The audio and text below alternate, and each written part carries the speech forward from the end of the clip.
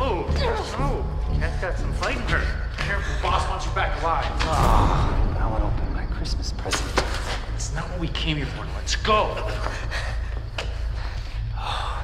That woman makes my blood boil.